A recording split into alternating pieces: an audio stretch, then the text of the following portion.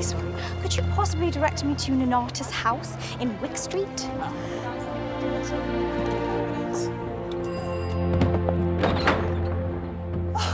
Good afternoon, ladies. Welcome to Nonnatus house. Did you all travel together? Uh, no, we just met on the step. I'm Joyce Highland. I'm Kathy Downs. And I'm Norelle Morris. That means we're only waiting for Rosalind Clifford. Hello! I'm so sorry. Am I late?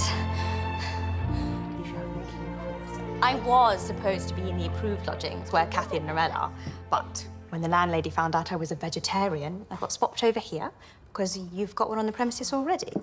Well, that would be me. Is it because you're sentimental about animals? It's because I can't abide the taste of them.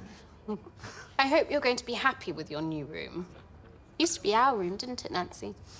But you have much better wallpaper than we had. My sisters and I spent quite some time selecting it. Numerous saints for us to intercede. I'm afraid we do ask that you refrain from smoking in your quarters. We're concerned that the nicotine might stain the decor.